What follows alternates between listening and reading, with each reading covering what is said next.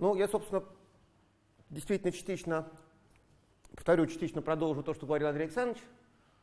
Э, но это уже было сказано, что, в принципе, к вычислительному анализу, сказать, анализу э, эпигенетики относится глядение на модификации гистонов и современный, в основном, самый часто применяемый метод ЧИПСЕК, исследование метилирования ДНК путем сульфитного секвенирования. Это я, я сейчас расскажу, что такое... А, нет, Андрей, вы уже рассказывали. Ну ладно, все равно расскажу. И определение состояния хроматина – который измеряется путем доступности для ДНК, измерения доступности для ДНК за один. А идеологически это довольно просто все. А, это там хорошая тяжелая экспериментальная техника, но идеи все довольно простые. Значит, бисульфитное секвенирование состоит в том, что вы получаете одноцепочную ДНК, обрабатываете ее бисульфитом, при этом цитозины превращаются в урацилы и секвенаторами воспринимаются как Т. А метилированные цитозины так и остаются метилированными цитозинами и читаются по-прежнему как С. А, и теперь мы берем две, э, два образца, один обработанный бисульфитом, другой нет, секвенируем. И там, где у нас есть разногласия между этими образцами, мы понимаем, что там на самом деле был цитозин. А там, где вот последовательность этих образцов оба говорят про цитозин, мы понимаем, что он на самом деле был не простой, а метилированный. Соответственно, э, значит, э, метод секвенирования после обработки первой ДНК, и он тоже совсем простой. Значит, мы, опять, идеологически простой. Э, там, не, называется, не пытайтесь повторять это у себя дома. Вы берете образец, обрабатываете ДНК, секвенируете, картируете фрагменты на геном и смотрите, где эти фрагменты любят начинаться. Это означает, что эти места были доступны и в этих местах ДНК часто порезалась. А, про метилирование, э, ну вот опять-таки Александр говорил про всякую консервативность паттерна метилирования.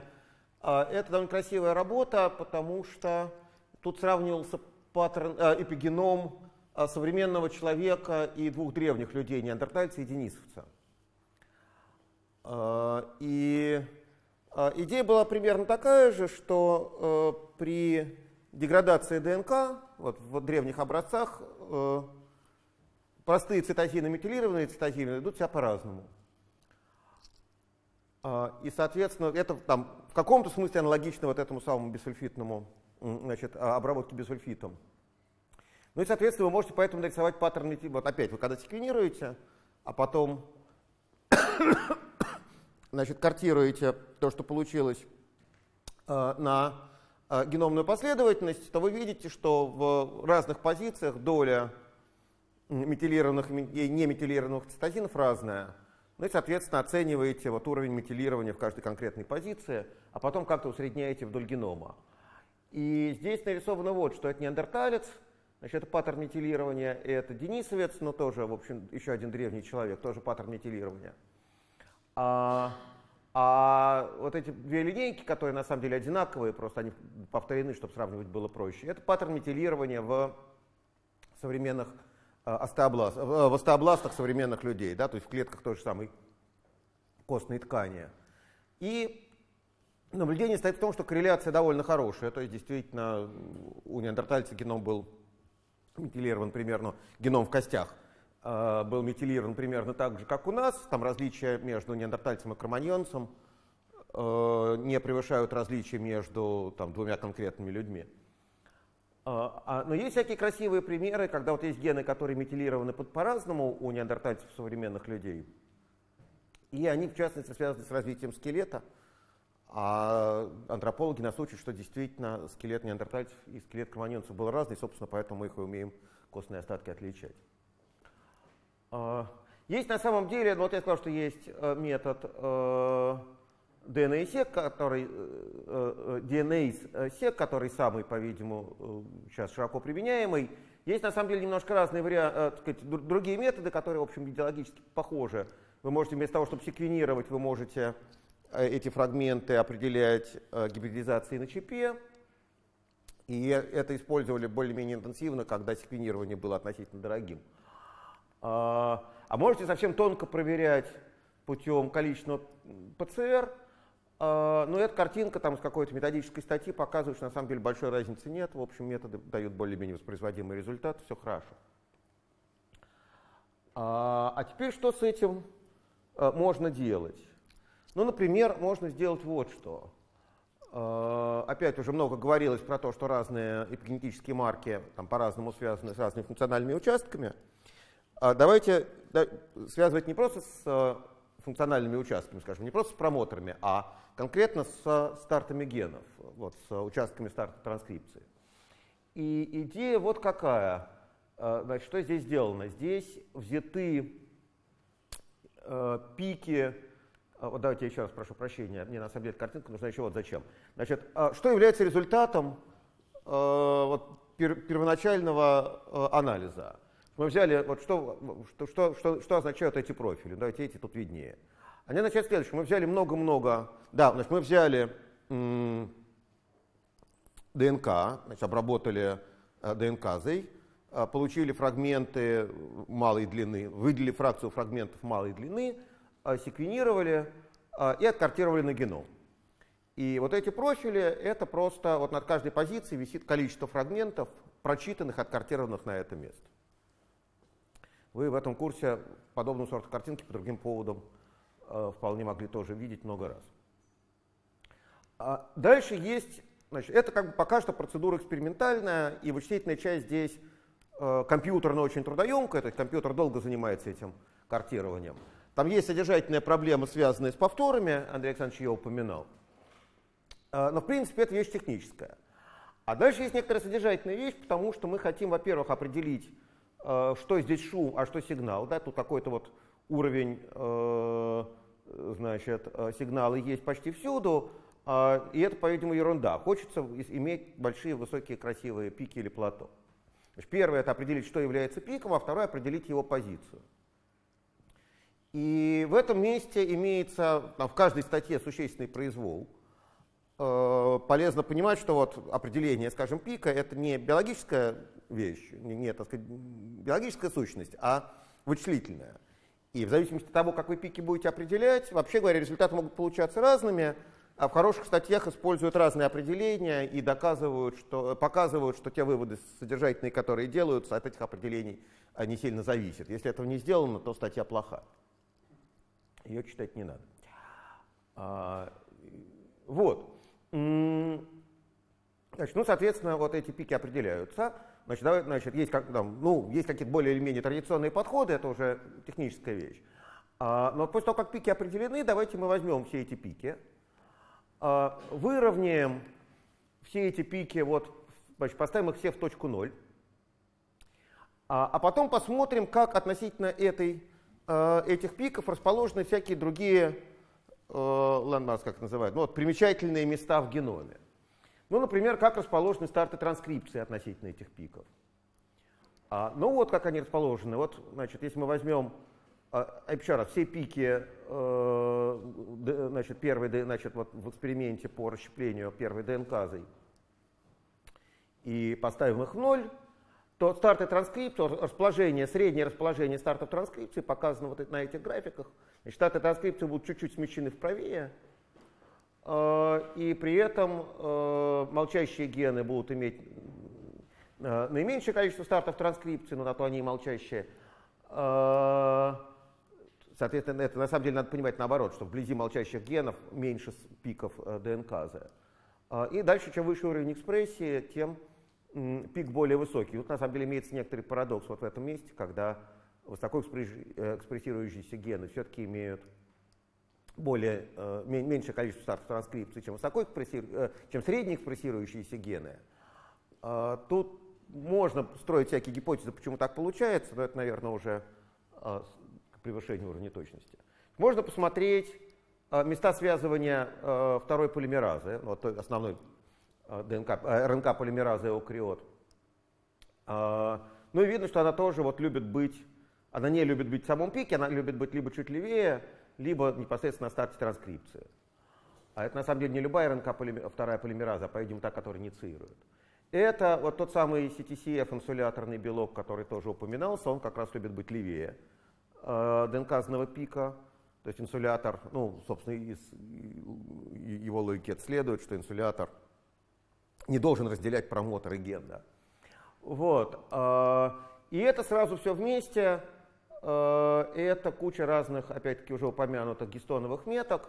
Вот видно, что в самой точке пика а, гистоновых меток мало. На самом деле понятно почему. Да, если это ДНК, если бы на этом месте сидел гистон, ну не гистон, более точно нуклеосома, который из гистонов состоит, то это, она бы экранировала этот участок от первой ДНКазы, а, и никакого сказать, э, пика там бы не было. Поэтому вот сами пики э, гистонами объединены, объединены э, нуклеосомами объединены, и стало быть гистонами объединены, и стало быть модифицированными гистонами тоже объединены. А слева и справа их много, причем вот эти вот упоминавшиеся активные марки, они как раз вот интенсивно в окрестности ДНК-зных сайтов сидят. А я потом еще немножко к этому вернусь. Это тоже картинка, которая уже была в какой-то форме показана, э, кажется, из другой статьи, но, в общем, это не важно, когда действительно сделана э, попытка интеграции всех этих данных. Только я тут немножко поправлю, значит, Андрея Александровича. Поправлю, да. А, там постановка задачи была другая. Вот так как вам было сказано, было сказано так. Давайте возьмем функциональные состояния хроматина и найдем такие комбинации признаков, которые этим функциональным состояниям соответствуют. На самом деле, вот методически было сделано немножко по-другому. А сначала нашли а, участки генома, то есть разбили геном на участки из нескольких классов, так что в один класс попали участки с похожими состояниями хроматина, а уже после этого этим классам приписали функциональную нагрузку. Да, то есть сказали, что давайте считать, что у нас есть, ну, как в этой статье, 50 разных классов, 51.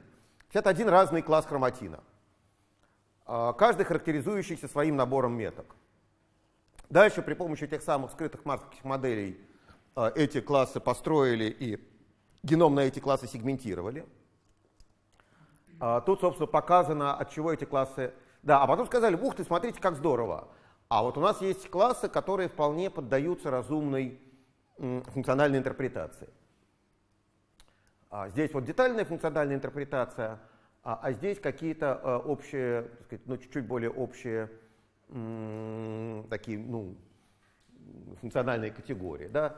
Промоторные состояния, области, которые транскрибируются, а активный межгенный хроматин, репрессированный хроматин и повторы. А, а это, соответственно, разные хроматиновые марки. А, но не обязательно хроматиновые, потому что здесь же живет, например, CTCF, то есть гистоновые, прошу прощения. Не обязательно гистоновые, потому что здесь же живет CTCF, который не гистон, или здесь же живет там полимераза вторая.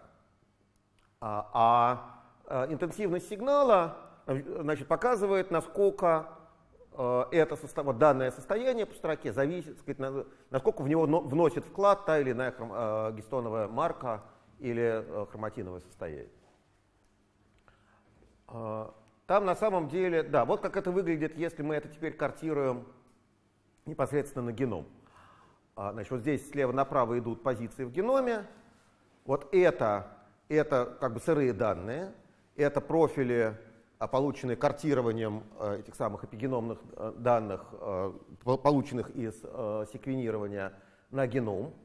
А цветные полосочки – это то, где программа стандартным образом сказала, что вот здесь имеется пик. Значит, это вот тут ген, это как бы внешнее знание, да, мы знаем, что здесь ген. Вот. А, а это как себя ведут хроматиновые состояния. Вот видно, что в начале гена действительно там проходит смена промоторных состояний, потом какие-то вариации значит, состояний, связанных с транскрипцией. Причем тут действительно забавная история, что, ну, во-первых, есть отдельно, тут это не очень хорошо видно на этой но есть отдельные экзонные интронные состояния, а во-вторых, есть состояния характерные для 5 штрих-концов генов и 3 штрих-концов генов. А, значит, вблизи гена хроматин тоже активен, то есть там сидят какие-то регуляторные, по-видимому, а, мотивы. А чуть дальше это уже репрессированное состояние, такая, ну не то чтобы это, сказать, это такая прототипическая картинка, да, она там хорошо иллюстрирует, я, я подозреваю, что авторы ее взяли, потому что она хорошо иллюстрирует вот основные идеи. В действительности, если вы возьмете произвольный ген, а, то такого вот красивого перехода биологически осмысленного, там, сказать, не все они будут так хороши. Вот, но вот, должно, сказать, ну, хотелось бы, чтобы всегда получалось так. А, состояний не обязательно должно быть много, потому что те же самые авторы через некоторое время решили, что 51 состояние это немножко перебор, и довольно сильно ужали свою модель до 15 состояний, практически не потерявши в качестве описания. Опять, качество описания в, данном, в этом контексте это, это то, а, насколько хорошо наши вот формально построенные классы а, соотносятся с реальными ну, биологически понятными. Э, э, описаниями.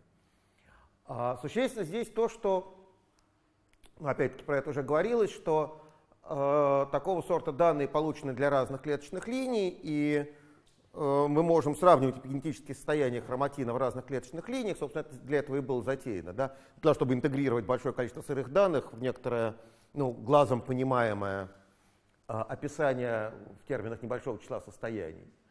А, ну вот, например, есть чудесный ген, который в каких-то клеточных линиях работает, а тут вот в основном активные состояния, там, промоторные и транскрибируемые, а в других э, клеточных линиях он, наоборот, подавлен. А, ну, а это те же самые сырые данные для этих клеточных линиях, э, для этих клеточных линий. А, вот тут он активен, тут он тоже, э, значит, этот ген активен, а, здесь он полностью репрессирован, а здесь оно то самое, что говорилось. Он так готов к тому, чтобы экспресси... э, транскрибироваться, но еще не транскрибируется. Но значит, промотор уже знает, что скоро придется работать. Вот. А, ну, можно искать, когда мы говорим активный хроматин, то активный межгенный хроматин, то это области сгущения а, сайтов связывания факторов транскрипции. И вот здесь тоже такая же картинка. Вот здесь есть участки активного хроматина, либо между генами, а, либо в интронах, а, это данные чипсека для факторов транскрипции. И вот видно, что там, где по гистонам, вот по такой интегральной картинке модификации гистонов хроматин находится в, нетранск... в активном состоянии, значит, эти участки действительно очень обогащены сайтами связывания э, факторов транскрипции. Это как бы тоже экспериментальные данные, такие же массовые, но полученные в совсем другом эксперименте. Э, и есть опять уже упоминавшийся проект ENCODE. Э, эта статья была опубликована уже некоторое время назад. Сейчас, вот когда был чемпионат мира по футболу предыдущий, кто помнит?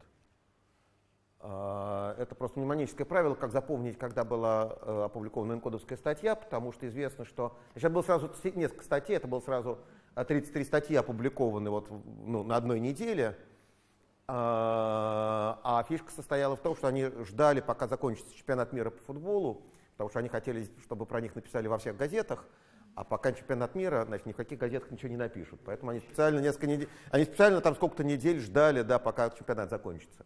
А потом, значит, чемпионат закончился, как-то вот все отгремело, и тут-то вот ученые открыли. Британские. Не только британские. А, значит, вот ученые были э, в основном американские, как раз они британские, а еще, кроме того, э, испанцы, японцы и люди из Сингапура. Э, главный там, впрочем, был действительно вот этот британский ученый. Э, значит, это было там больше 30 институтов, там примерно по 5, под 5 сотен человек – Э, в этих статьях участвовал, причем опять, когда я говорю э, пять сотен, это пять сотен исследователей, а, там, не считая там, техников, лаборантов и всех прочих. А, есть э, вот на странице Nature, я прошу прощения за качество скриншота, а, сейчас у меня есть такая, ладно, потом. Да, значит, значит есть такое понятие threads. То есть вы, значит, все эти статьи а, они э, организованы тематически, они там про разные аспекты этого э, проекта. А кроме того, они э, разрезаны на отдельные разделы, и в зависимости от того, чем именно вы интересуетесь, вы можете увидеть такой дайджест, значит, вот, набор вырезок из разных статей, относящихся к вашей теме. А, ну, я сейчас покажу это.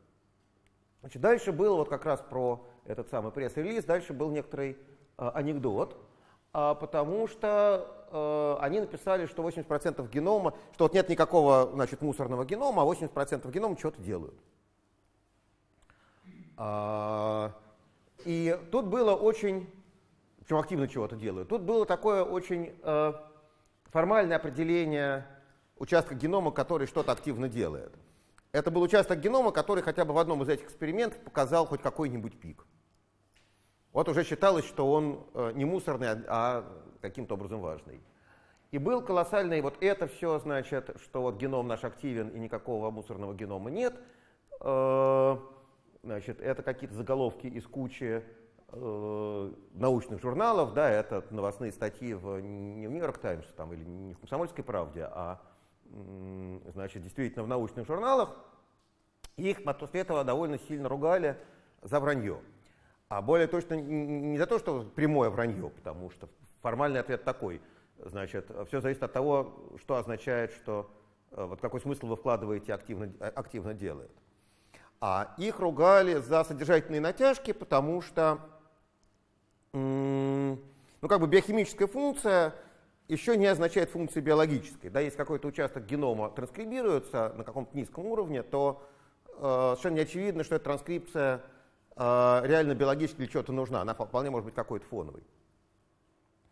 А, или, например, там, транскрипция, которая нужна для того, чтобы какой-то участок хроматина держать открытым. Но тоже, в общем, тут немножко слишком сильное утверждение говорить, что это есть актив, действительно какая-то содержательная активная функция. А на самом деле самая злобная э, значит, реакция вот на это была опубликована Дэном Грауром в журнале ух, Molecular Biology and Evolution, по-моему, я не помню, в котором он главный редактор, не помню в каком, но в хорошем журнале. Вот. А он очень сильно разругал вот, вот этот uh, overstatement, я не знаю, как по-русски сказать. Uh, вот. Uh, сказал, что ну, вот, если бы она была функционально важна, она была бы консервативна, раз она не консервативна, то мало ли какой там шум происходит. И значит, решающая вещь, которую он сказал, которая действительно довольно красивая, то, что очень хорошо. Согласно вашему определению, не 80% генома что-то активно делает, а 100%. Потому что весь геном реплицируется. Ваше вот так, значит, значит, э, такое формальное определение активной деятельности, как то, что с этим участком связан хоть какой-нибудь процесс, э, вот в вашей же логике, значит, вы просто ничего не сказали, да, потому что если вы... А есть точно так же, это э, есть там э, карты, скажем, того, является ли участок реплицирующимся рано или поздно в ходе клеточного цикла, там реплицируется ли этот участок следирующий или запаздывающий цикл. Ну, в общем, там есть куча, действительно, вот в какую сторону репликативная вилка идет.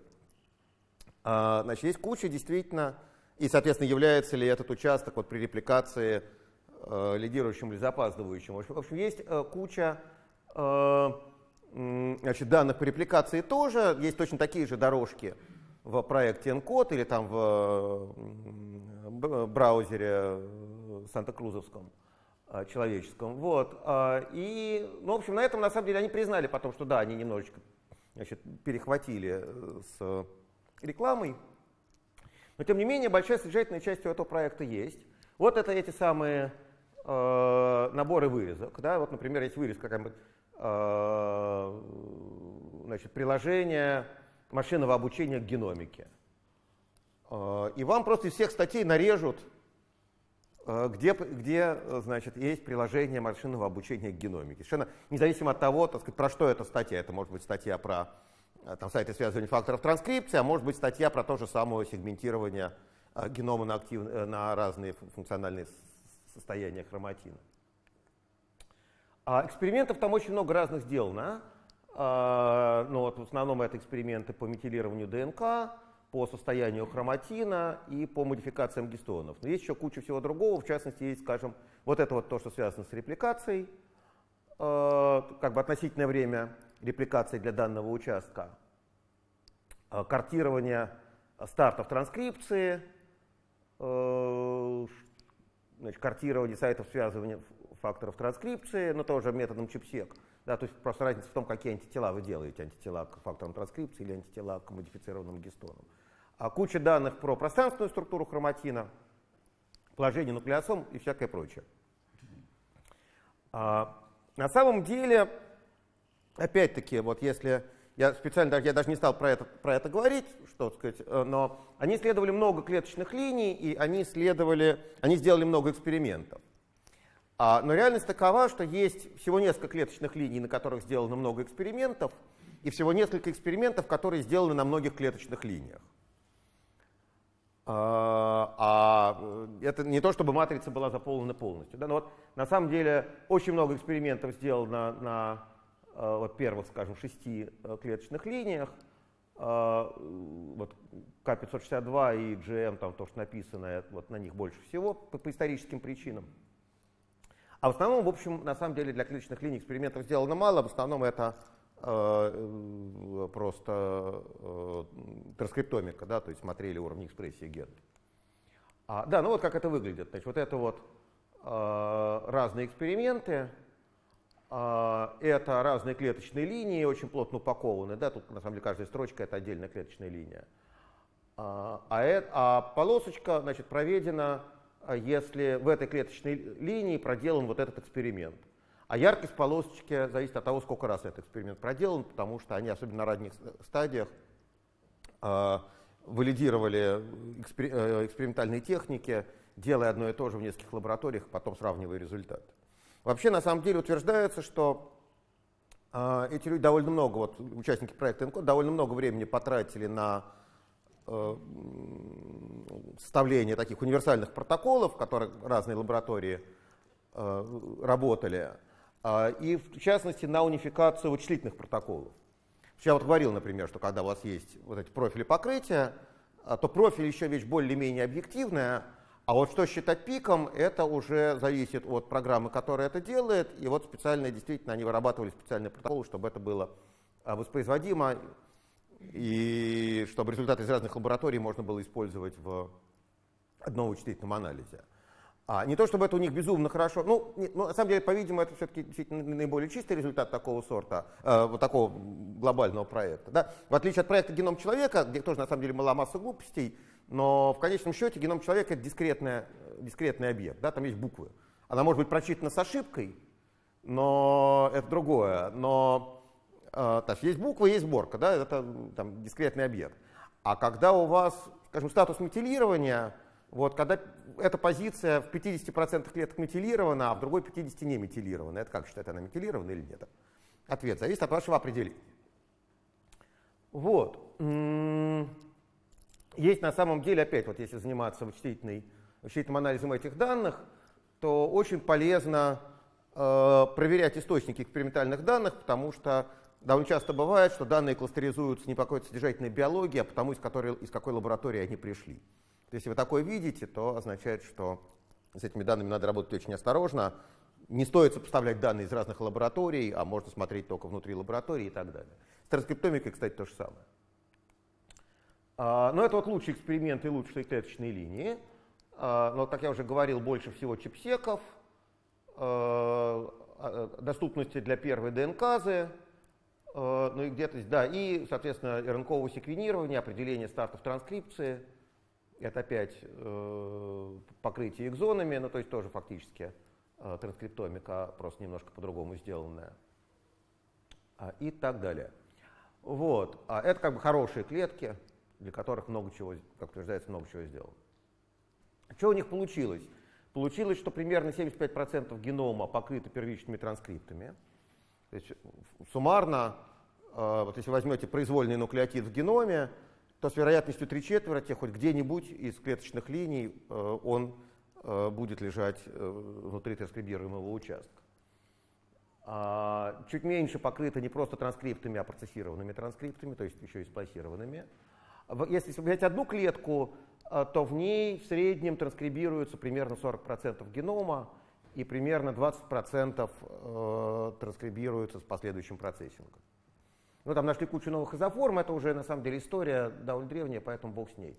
А нашли кучу, ну, по, лучше определили действительно, и это очень существенная вещь, потому что они существенно улучшили э, просто генную карту, да, так сказать, последовательность транскриптов и э, то, как они сплассируются. А, нашли кучу новых некодирующих РНК. А, вот сделали экспрессию в разных клетках. Это все, в общем, такие довольно технические вещи, бог с ними. А, про факторы транскрипции вам Иван Кулаковский рассказывал, я не буду это повторять. э, ну, в общем, много он нашел, нашли факторов транскрипции. Я, может быть, немножко поговорю про, а я не знаю, Ваня про это рассказывал или нет, но если рассказывал, то я просто повторю, а если нет, то расскажу первый раз. Про взаимодействие как раз факторов транскрипции с ДНК-сными э, в смысле экспериментов по определению сайтов посадки факторов транскрипции чипсековский методом чипсек с анализом открытости, доступности для первой ДНК. Потому что тут на самом деле вещи довольно красивые, и их полезно послушать э, ну, либо в первый раз, либо во второй. А идея здесь вот какая. Что когда, мы, когда, сайт, э, когда э, фактор транскрипции связывается со своим сайтом, то он, вообще говоря, защищает его от первой ДНК. А, поэтому это место будет выглядеть как провал на фоне Э, ну, какого-то среднего уровня доступности. Поэтому если вы возьмете все пики э, доступности для, для первой ДНК, э, то их можно загрузить в большой-большой мясорубку, который будет смотреть, нет ли там общих мотивов в ДНК. Ясно, что одного общего мотива не будет, потому что это могут быть самые разные факторы транскрипции, которые э, ДНК защитили. Но вот там можно смотреть кластеры. Вот нет ли там каких-нибудь а, особо любимых э, олигонуклеотидов. А, и оказывается, что да, что можно найти довольно много новых мотивов. Но вот здесь пример просто абсолютно нового мотива, неизвестно для какого фактора транскрипции. Э, но что известно? Известно, что есть такой мотив, что в окрестности этого мотива имеется провал доступности для первой ДНК. А кроме того, вот эта картинка синяя – это консервативность появления этого мотива в геноме. И оказывается, что вот эти мотивы, когда они попадают еще к тому же в участок экранированный э, от ДНК, э, довольно, довольно хорошо консервативны в геномах других млекопитающих. Ну, скорее всего, таки да, есть какой-то фактор транскрипции, который с этим мотивом связывается. А есть еще тут вот куча других примеров. Для известных примеров они э, нашли, что мотивы могут чуть-чуть варьироваться. Там, например, может расстояние между двумя фрагментами этого мотива быть немножко вариабельным, что, может быть, мы считали, что мотив коротенький, а на самом деле он длиннее. Тут всегда не очень понятно, что это означает, что то ли действительно мотив длиннее, то ли есть какой-то белок, который кооперативно взаимодействует. То, то, то ли это как бы два мотива да, для двух э, белков, которые кооперативно с ДНК связываются. Вы лучше меня спросите, потому что если вам непонятно, с большой вероятностью никому непонятно, а, а э, тогда я говорю впустую. Чего? Спросите. Еще раз. А, ДНК зарежет ДНК. Да, прошу прощения, но вот никогда не знаешь. Э, вот.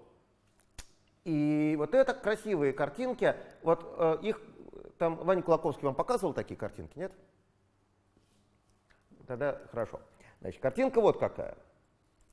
Значит, а, как выглядит, опять-таки, вот такой нормальный участок связывания э, фактор транскрипции с точки зрения доступности для, для ДНК?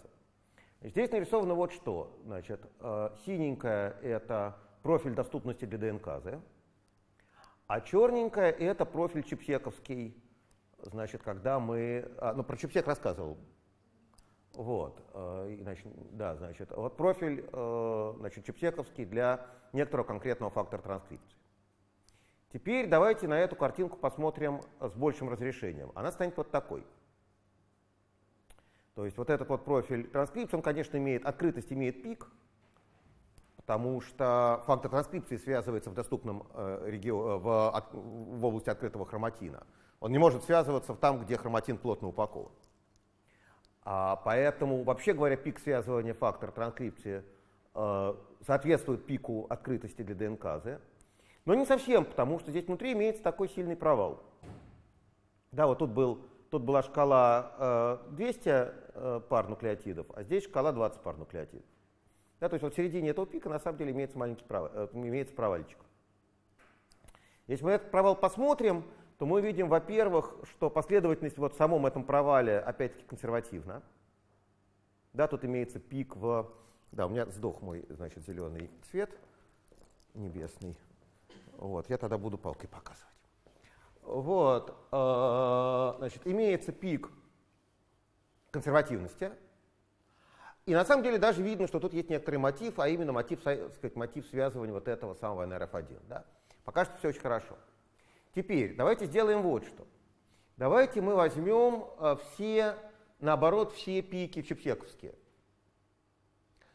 а, и упорядочим их по доступности для ДНК. Да, то есть мы берем все э, пики э, чипсека для этого фактора, а потом смотрим для этих, значит, пики определяем просто формально, вот по какому-то формальному правилу, что считать пиком. А потом для всех этих пиков берем профили от, доступности для первой ДНК и упорядочиваем эти профили ну, по высоте пика или там, по площади под пиком, по, по любой величине. И здесь это и нарисовано. Здесь, да, и оцентруем все это по мотиву. Поскольку там мотив есть, то мы можем выровнять всегда это по, по, по известному мотиву. И это здесь сделано. А, значит, тут каждая строчка — это вот а, один такой а, профиль открытости для ДНК. Соответственно, яркий цвет означает, что чем чернее, тем менее доступно. Да? То есть вот эта черная, черная полоса совсем экранированного ДНК соответствует вот этому провалу. Э, вот эта серая полоска какой-то доступности соответствует э, доступности вот рядом с этим провалом, непосредственно рядом с сайтом связывания. И тут имеется еще две чудесные беленькие полосочки тех мест, которые, наоборот, очень хорошо открыты для ДНК.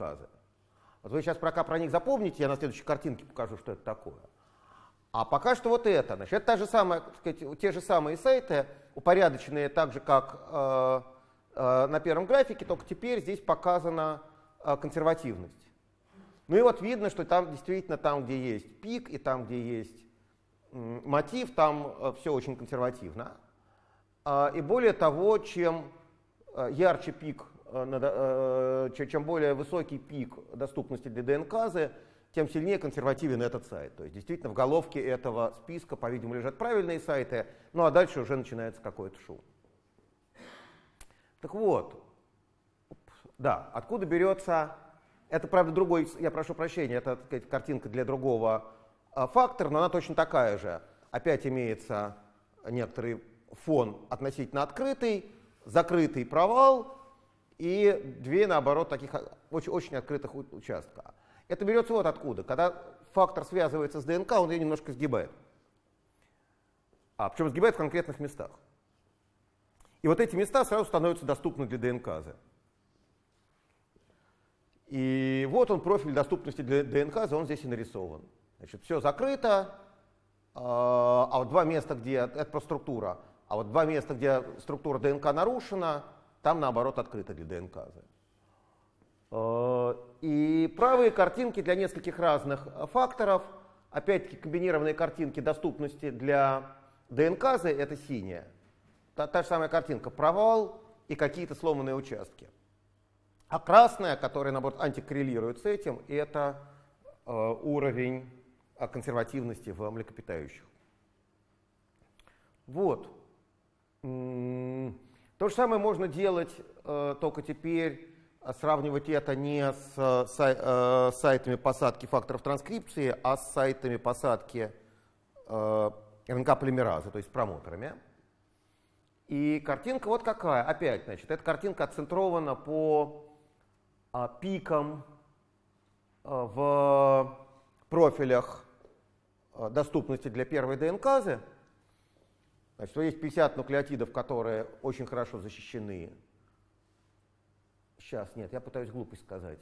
А, да, нет, я даже еще не, не, просто, не просто пытаюсь глупость сказать, а я ее уже сказал. А, значит, мы берем, а, да, сказал глупость. А, значит, что сделано вот что. Тут взяты разные профили доступности ДНК за1 вот в районе промоторов, а, и выровнены они просто так, чтобы профили наилучшим образом совпадали. И вот консенсусный профиль, тем самым, он здесь показан синим. Значит, ну какой-то фоновый уровень, потом ДНК открыта, потом заэкранирована, потом опять открыто, ну и опять это спускается на фоновый уровень. Консервативность себя ведет там, строго в противофазе с этой картинкой. Вот. И этот экранированный участок это вот то, где сидит э, инициирующая полимераза. Соответственно, э, та же самая картинка, только теперь э, на нее положены опять вот, взята вот, вот, взят, вот, взято вот это выравнивание профилей доступности для первой ДНК, а после этого по этому выравниванию усреднены значит, профили, показывающие частоту 5 штрих-концов РНК двумя разными способами. Кейдж — это такой точный способ картирования стартов транскрипции, и EST — это не точный способ картирования стартов транскрипции, это просто куда дочиталось вот при случайном чтении транскриптомов. Значит, полезно понимать, что, скорее всего, здесь перепутанное обозначение на этой картинке, потому что точный метод должен давать пик, а неточный метод должен давать что-то размазанное, потому что часть EST, вот этих фрагментов, прочитанных фрагментов МРНК, ясно, что они до левого конца могут не доходить.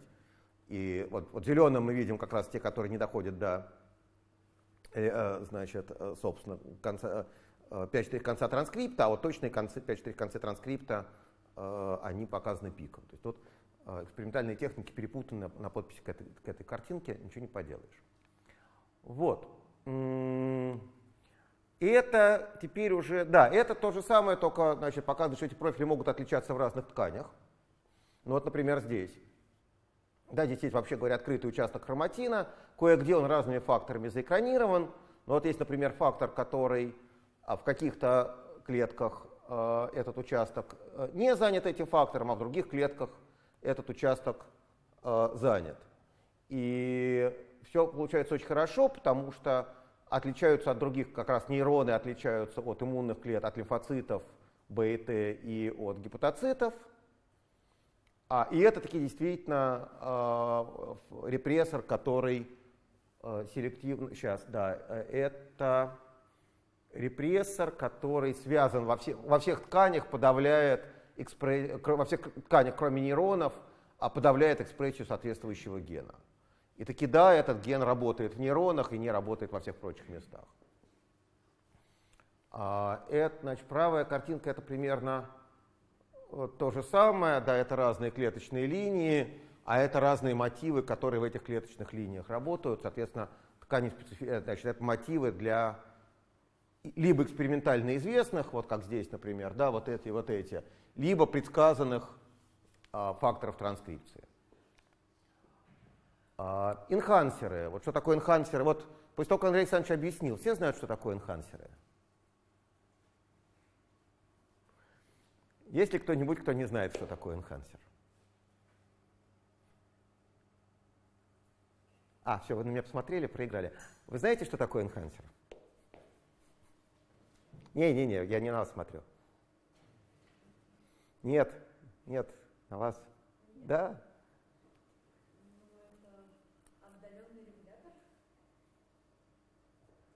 А, в смысле белок? нет, отдаленный. Отдаленный от чего? Простите, сложность объяснения. Ну, как ну, отдаленный регулятор, я не знаю, как объяснить по-другому. Ну да, это участок ДНК, а, который находится далеко от регулируемого гена, связывается с какими-то факторами транскрипции. А, эти факторы транскрипции взаимодействуют с другими факторами транскрипции, которые связались с промотором, а промотор — это регуляторный участок непосредственно перед геном. И вот в совокупности они э, регулируют работу гена, да, в первом приближении правильно. А, ну, соответственно, работающий энхан, да, значит, энхансеры ткани специфичные. Значит, участок ДНК, он в каких-то тканях связывается с факторами транскрипции и работает, а в других тканях не связывается с факторами транскрипции, например, потому что этих факторов там нету, и не работает. Соответственно, где-то этот, этот энхансер будет открыт, там, где он в рабочем состоянии, а где-то будет закрыт. Так давайте сделаем вот что. Давайте мы возьмем много разных энхансеров. А, каждый энхансер у нас по вертикали. Возьмем много разных клеточных линий и посмотрим, нет ли у нас таких групп энхансеров, которые открыты либо закрыты в одних и тех же клеточных линиях. Ну и тогда, наверное, у них будет какая-то общая функция. Ну и вот это здесь сделать, это тоже пример, что вот, например, вот есть группа энхансеров, да, это просто профили маленькие. Да, вот этот вот участок, э, участок э, на хромосоме, мы совершенно не знаем, на самом деле, это энхансер чего. И какие факторы транскрипции с этим энхансером взаимодействуют, мы тоже не знаем. Но вот мы знаем, например, что вот этот энхансер и вот этот энхансер себя ведут, э, в общем, практически одинаково. Да, в одних и тех же клеточных линиях открыты, а в других, и в одних и тех же клеточных линиях э, закрыты. Ну, а дальше это можно... А другие энхансеры себя ведут по-другому. Да, вот, вот это себя ведет по-другому. Вот эта группа энхансеров целая. Да. И дальше можно вот пытаться из этого делать... А вот это какие-то совсем замечательные энхансеры, да, они работают очень мало где. Да, вот этот энхансер на самом деле почти что общие, они только в некотором небольшом количестве клеточных линий не, не, не работают. А цвета клеточных линий тоже осмыслены, потому что это клетки разной, разного происхождения. Вот. А это, наоборот, такие тканеспецифичные энхансеры, которые работают очень мало где. А, ну и опять такого сорта анализ можно делать систематически, а потом пытаться уже в эксперименте а, какие-то отдельные частности проверять.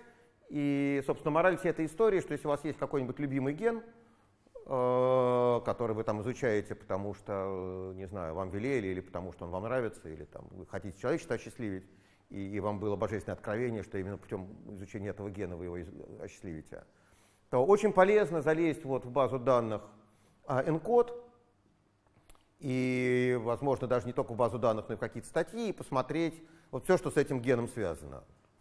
А потом уже проверять в эксперименте какие-то конкретные вещи, а не искать неизвестно чего. А, модификации гистонов, опять вот разные модификации гистонов смотрели в разных клеточных линиях. Больше всего смотрели любимый Андреем Александровичем а, триметилирование четвертого лизина третьего гистона. А, ну и другие гистоны тоже смотрели. Кстати, не только третий. Вот четвертый гистон тоже вполне смотрели. И не только метилирование смотрели, а смотрели, тут где-то я ацетилирование видел, только сейчас сходу не могу найти. Ну давайте считать, что вот это ацетилирование все равно ни одной буквы не видно, поэтому. Вот. Э, ну, ну, на самом деле разницы никакой нет. Э, и можно смотреть, тут на самом деле тоже будет значит, такой немножко случайный набор примеров, скорее, так сказать, не для того, чтобы из них извлечь какое-то биологическое знание, а для того, чтобы показать, какого стиля работы можно с этими данными делать. Ну, например, можно смотреть, как устроена модификация гистонов около сайтов связывания каких-то белков. Ну, вот все страшно любят белок CTCF. Э, давайте посмотрим, как устроено триметилирование 27-го лизина Э, третьего гистона вокруг сайтов, связанных с CTCF. Мы берем данные по чипсеку CTCF, выбираем пики, все выравниваем по этим пикам, а потом значит, для, полученных, э, для полученного выравнивания усредняем профили модификации вот гистоновой. А оказывается вот что, что оказывается, что если значит,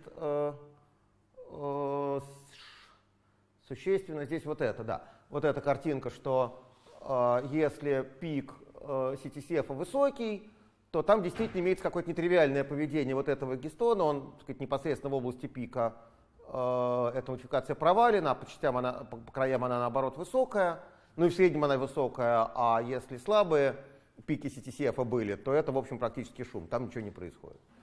А дальше оказывается, что на самом деле эти паттерны это результат усреднения очень большого количества паттернов. А если их не усреднять все, а разложить на кластеры похожих паттернов, то вот там выделится несколько кластеров, которые будут вполне симметричны. То есть оказывается, что э, вот эта картинка на самом деле раскладывается на асимметричные, э, э, асимметричные профили, и э, этот самый гистон любит модифицироваться, э, иногда любит модифицироваться, в каких-то вот ситуациях любит модифицироваться Э, там, проксимальнее этого сайта связывания, а других дистальнее. А проксимальность дистальность определяется по отношению к ближайшему гену. Да? То есть мы направление на ДНК обычно задаем просто направлением на ближайший ген в таких ситуациях. А, ну и дальше э, как бы есть некоторая догма. Да? Вот Андрей Александрович примерно с нее и начал. Там, в том или ином смысле, что вот смотрите, как интересно, э, геномы во всех клетках одинаковые, а клетки все-таки разные. Почему же так? А потому что там разные, э, работают разные гены. А почему там работают разные гены? Потому что там ДНК находится в разном состоянии. где-то плотно упакована, где-то рыхлая, и значит, по-разному модифицированы гистоны. И разные факторы транскрипции с этой ДНК связываются и по-разному работу этих генов регулируют. А, значит, если мы верим в эту чудесную картинку, а, картину мира, а, картинку мира, я бы даже сказал, да, карикатуру мира, вот, а, а, то давайте тогда предсказывать уровень экспрессии генов по состоянию хроматина. Если мы верим, что состояние хроматина определяет уровень экспрессии, то давайте мы просто возьмем и это будем предсказывать. И получается довольно хорошо. Удивительным образом, значит, тут нарисовано вот что. Э, значит, мы определяем уровень экспрессии по э, экспрессионным данным, и даже более того, не по транскриптонным данным, а по данным Cage. Это вот результаты точного картирования стартов транскрипции.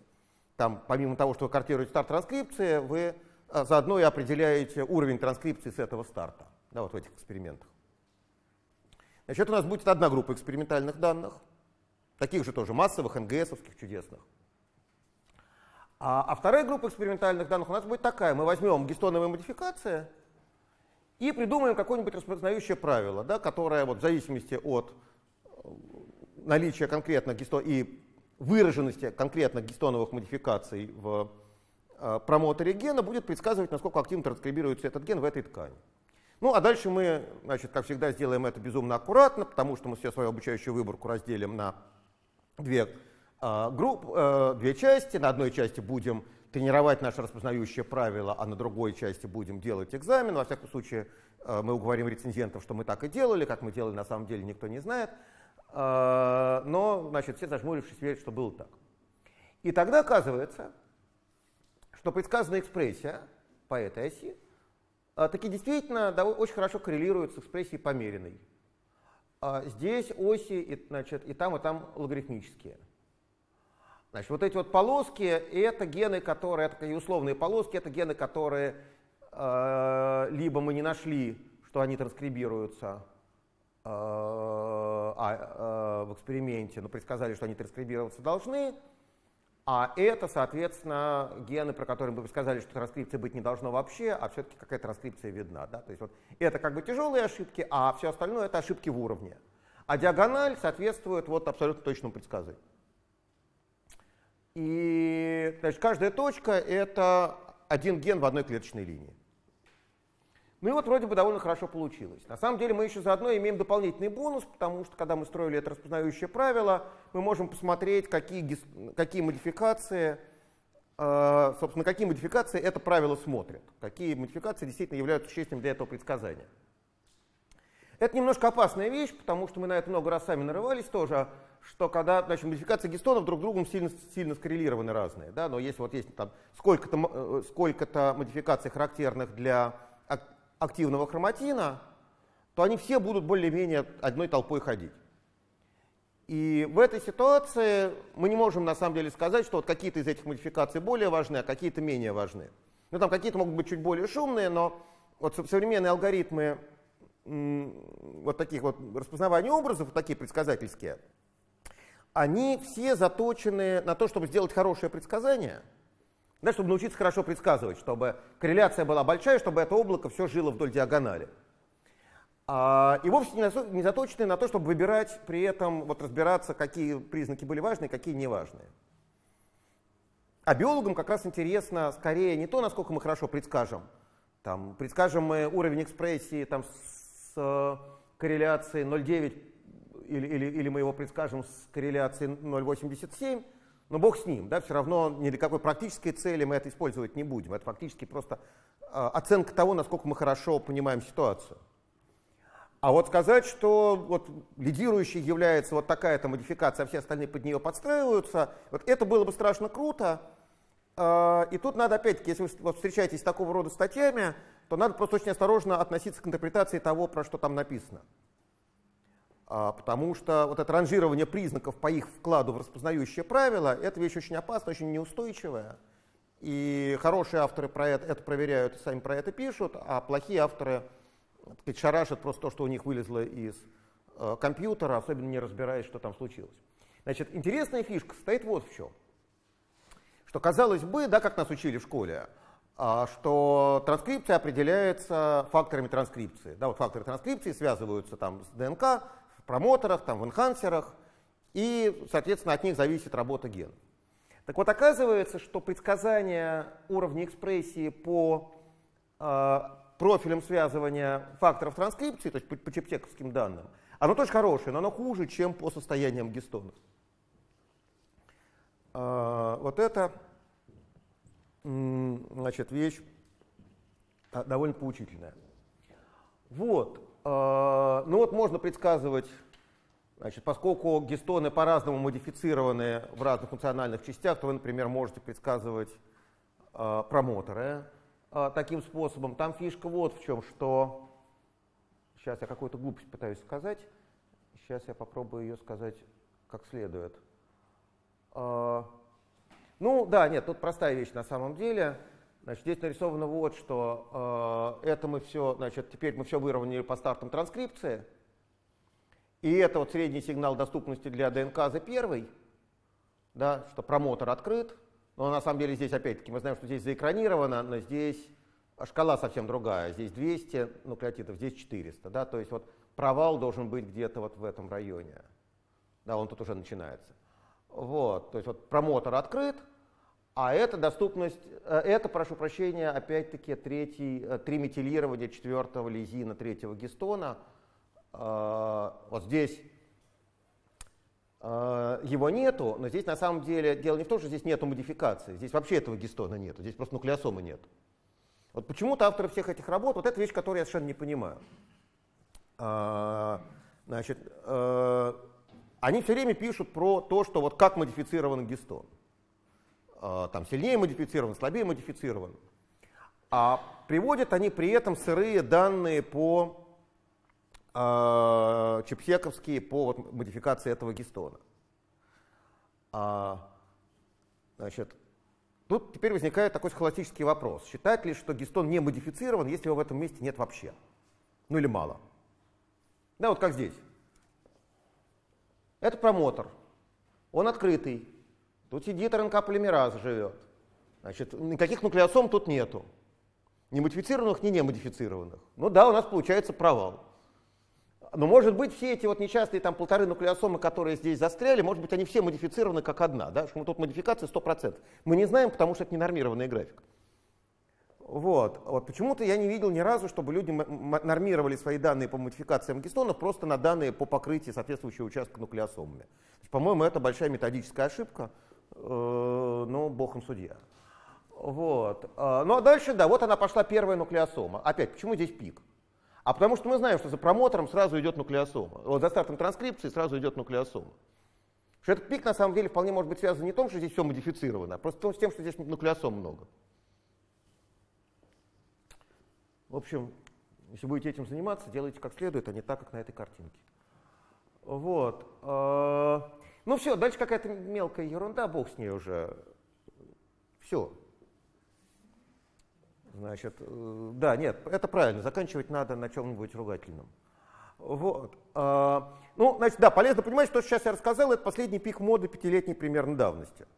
С тех пор появилась куча работ по э, такого же сорта данным, но не для человека, а для модельных организмов, там для дрозофилов в частности, а, и для мышки, по-моему. А, появилась, соответственно, вы можете сравнивать э, не только разные ткани человека, но и разных зверюшек. А, появилось еще 100-500 статей, сделанных на энкодовских данных, а, корреляции там всего совсем. Вот. А, значит, если вы опять-таки начнете с этим работать, то вы обнаружите, что действительность далеко не так радужна, как на этих чудесных картинках, что данные гораздо более шумные, там откартировано все так себе, и у вас там год или полтора уйдет просто на прочистку данных, вот, которые, казалось бы, вот они уже лежат в браузере. А, но с другой стороны, это все-таки дает возможность проверять разные красивые биологические соображения. И э, ну вот если вы думаете, что вы что-то понимаете про биологию, то или там у вас есть гипотеза, что что-то должно работать каким-то образом, то там правильно, правильно, с большой вероятностью, правильно покрутивши энкодовские данные, вы э, свою гипотезу сможете разумным образом э, подтвердить или опровергнуть. Да? Красивые работы, на самом деле, на этих данных тоже люди делают. Все.